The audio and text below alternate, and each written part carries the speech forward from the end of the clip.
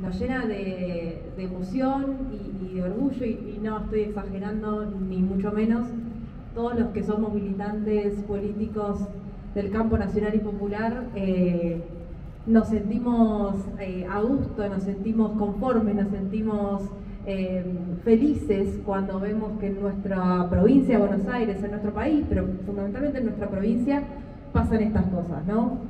Hay, existen estas empresas, eh, hay este nivel de producción, hay este nivel de compromiso, pero fundamentalmente existen estos empresarios. Así que realmente te agradezco a vos y en tu nombre a todos los los compañeros, compañeras eh, que son parte de las cámaras y que, están acompañando también este proceso que, estamos hoy presentando. Por supuesto, agradecerte, Mauro, por, recibirnos en el, distrito. Es verdad, venimos trabajando mucho con, con, Rodríguez, haciendo un montón de, llevando adelante y ejecutando un montón de políticas públicas de distintas líneas pero hoy se conjugaron en el distrito y esto que vos contabas, este crecimiento industrial, este, este, este lugar que es propicio para la creación de industrias, para, el establecimiento de nuestras industrias y su desarrollo, con el trabajo que vienen haciendo Marcelo y, todos los que son parte de, esta pyme.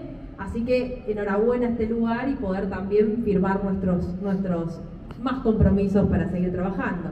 Y por supuesto, y un agradecimiento, eh, esto sí, muy personal, a Juan Cuatromo, Augusto Costa, en su nombre Mariela, Ariel, agradecerles también por estar, a Luis Cuyupetru, que es parte de nuestro equipo, porque esto que, está pasando hoy, lo habíamos hablado con Juan, creo, en alguna reunión de gabinete de las que hacía Axel, eh, y dijimos, tiene que pasar, y Juan dijo, va a pasar, va a pasar, va a pasar, y nosotros éramos muy nuevitos porque este Ministerio de Ambiente tiene apenas un año, pero con compañeros como, como Augusto y como Juan, que tienen mucha experiencia en la gestión, salió y acá estamos presentándolo. De hecho, se, eh, pospuso la, presentación, lo tenemos listo desde hace tiempo.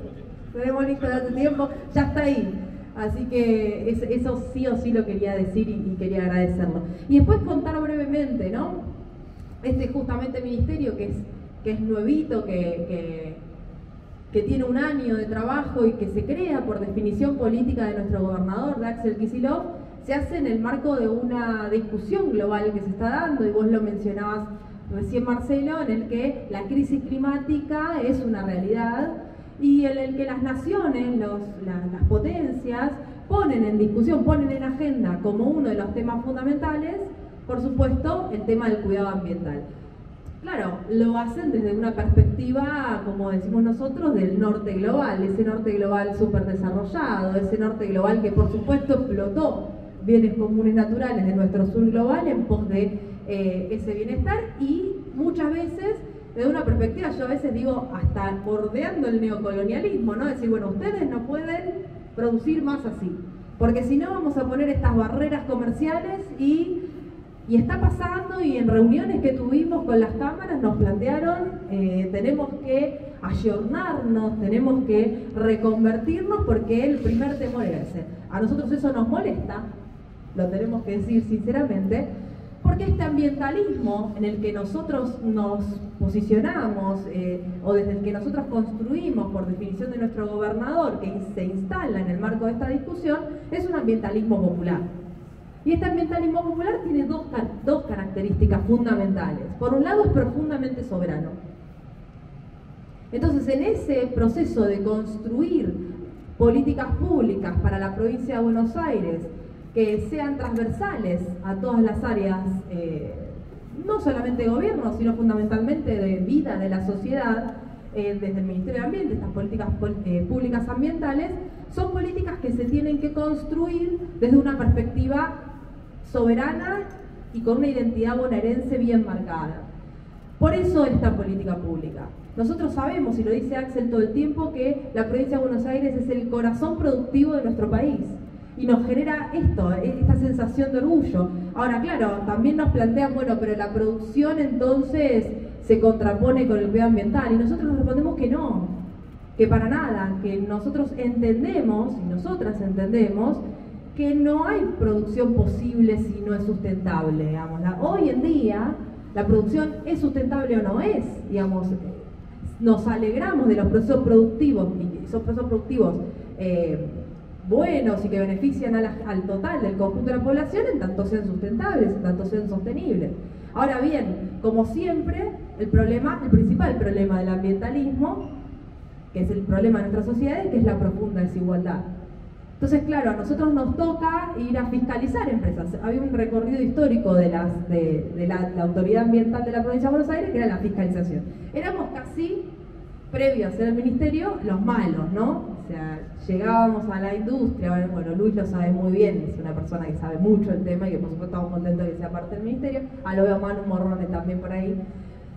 Claro, llegábamos nosotros y era, bueno, ahí vienen esto, a ver qué, qué, arreglamos rápido, si nos enterábamos antes, los parches, porque...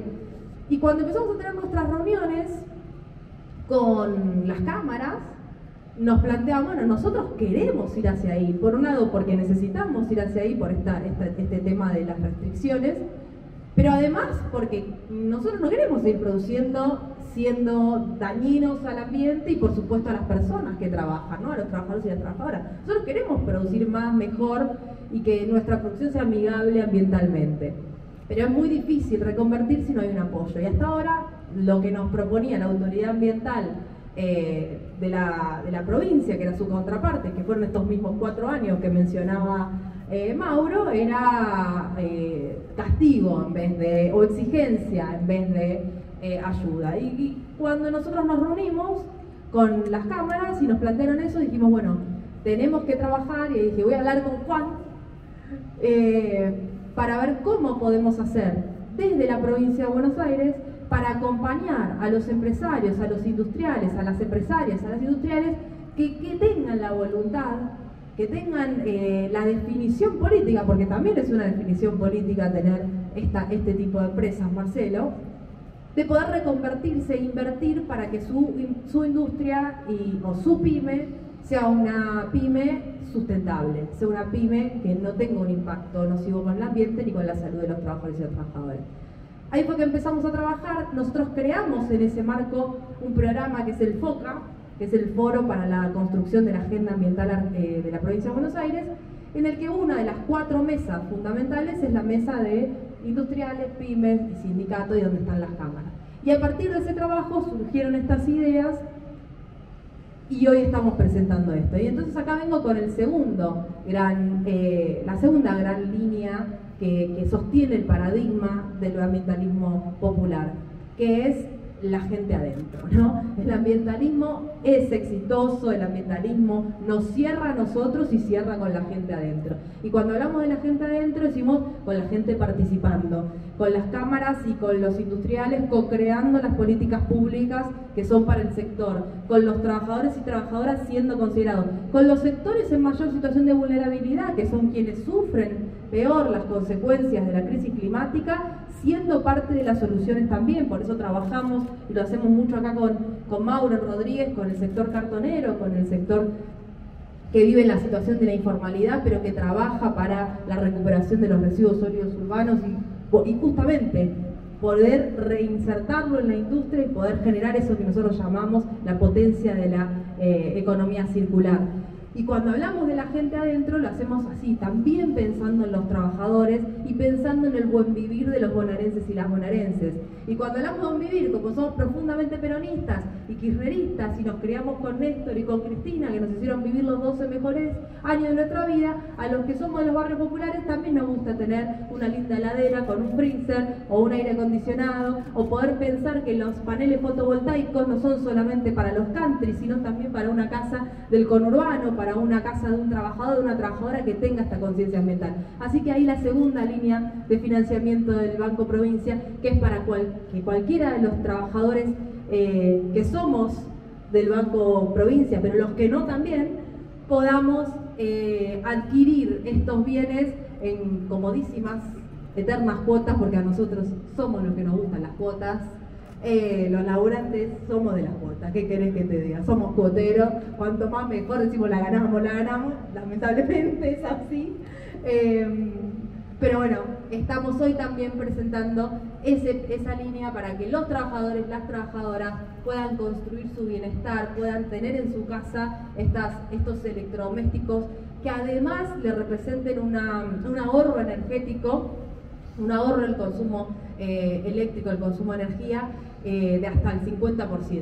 Con lo cual es un win-win, también decimos, eh, para comprar buenos productos, para tener un bienestar en nuestros hogares y además contribuir a ese, que ese bienestar no sea un bienestar individual como construyeron en el norte global a costa nuestra, sino que sea un bienestar que se transforme en buen vivir de todas las sociedades, de todos los ciudadanos, las ciudadanas, de todos los bonaerenses, con profunda identidad, con profunda participación y con profundo orgullo de ser lo que somos. Como me pasó a mí, de llenarme de orgullo al conocer esta, esta empresa Marcelo y saber que somos socios estratégicos para lo que viene, que ojalá podamos seguir sosteniendo estas políticas. Y nosotros decimos algo, si llega a ser que no, porque la ciudadanía no lo define, las políticas de Estado van a quedar y somos los bonaerenses y las bonaerenses las que tenemos que exigir que esas políticas de Estado también se sostengan independientemente de quién llegue. Por supuesto no lo da lo mismo quien gobierna, porque antes a los industriales les exigían o,